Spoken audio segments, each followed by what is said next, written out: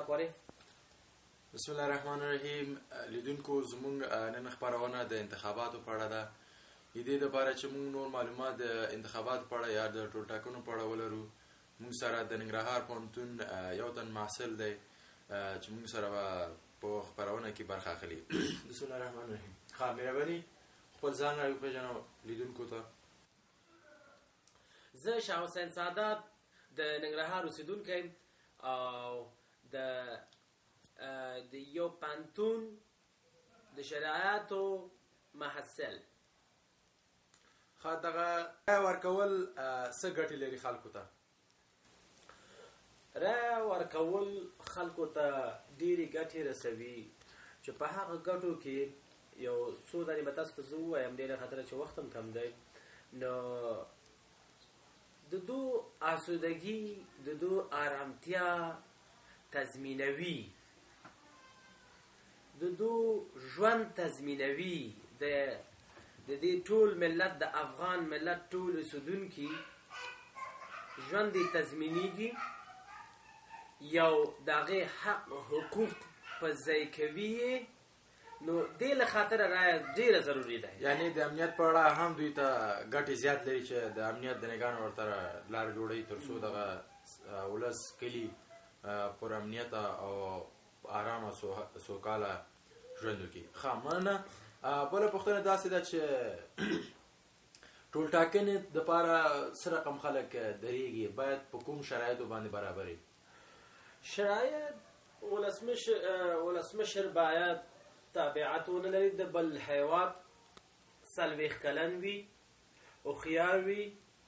په سیاست باندې پوه سي د نور نور په تحصیلات عالی کې ډیره په هو لري ماستری باید ولري او ډیر خدمت کړي وي وطن لپاره خلکو لپاره ملت لپاره ځوانانو لپاره چې په ټولنه کې باید دا یو غټ نفوس ولري او لکه پلچک پلچکونه جوړ کړی وي سرکې جوړ کړی وي مسجد جوړ کړی وي شفاخانه جوړ کړی وي درملتون جوړ کړی دا شیان د عامه خلکو لپاره د افغان خلکو لپاره چې کوم خدمتونه کړی دي هدې دې د لاس دوی پر نفوس کیږي نفوس پیدا کوي بیا دا کولای شي چې چې د نفوس له نظر او د خواري چې کوم حرکات دي کې شته د هغه له نظره خلک خپل تشویقیږي او د ترای ورکوي چې دا خسړه ده د ته موږ باید رای ورکو چې دومره پوهه لري دا کولای شي چې په داخل د افغانستان کې او په بهر کې په سیاست باندې او د وطن په خ پرمختګ باندې د خ کار کوي سي مننه په ټول ټاکنو کې خزو ته کوم رول یا حق هم ورکول شوی دی کنه باید حق ورکړل شي ورته دې له خاطره چې د افغانستان ځوانان اویا فیصد دی نو حق مونږ باید ورکو خزو ته دې له خاطره چې هغوی باید پوهه پیدا کړي زمونږ د دې نسل ځوان ځوان نسل یا د چې کوم نسل دوی تربیوي تیاروي جامعې لپاره خلکو لپاره د وطن لپاره یې تیاروي، باید مور یا ښځه باید ډېره پوهه ولري چې خپل ښوونې روزنې ته ډېره پاملرنه وکړي خپلو ماشومانو باندې چې دوی یو ښه ژوند او یو ښه راتلونکی ولري یعنی زه به داسې په لنډو ټکو وایم چې نر او ښځه کولی شي چې رایه ورکړي او خپل آینده وټاکي مننه لیدونکو زموږ خبرونه هم دومره وه تر بیا چې یو بل خبرونه جوړو تاسو لپاره د الله په امان خو د غینه مخ کې زموږ غرور زموږ ملما به سو ناوی لري اخري د خبرونه په اخره کې کول شي چې وي نو زما تنها دا مطلب دی په دې ټول ټاکنو کې باید مونږ باید خ تصمیم ونیسو څه چې زمونږ ځوان نسل دی زمونږ مشران دي دوی باید ډیر یو یو یو دقیق تصمیم دی ونیسي چې کوم کس مونږ ته کولای شي چې زمونږ د وطن د پرمختګ لپاره دی یووالي له خاطره چې ملت ډیر تکه او برباد دی ټوټه ټوټه دی زه غواړم چې باید دا ټول خلک یو شي یو موټی شي، یو ملت شي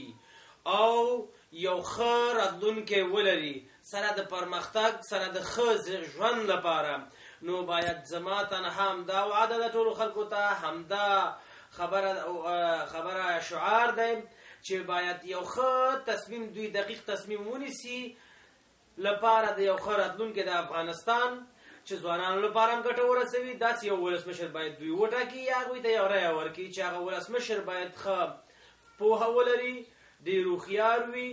او ټول خلک زه تنها دا, دا وایم چې باید مولوي صاحبانو ته زمونږ علماو ته چې ډېر عزت یې ورکوو مونږ په جامعه کې په سیمه ییز ساحو کې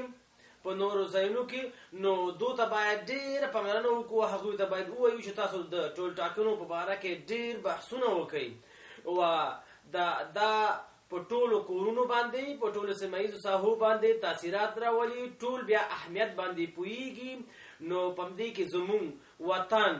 ملت هر یو شی په پرمختګ کې به روان وي زمونږ انجینران به نه وژل کیږي زمونږ مسلمانان به نه وژل کیږي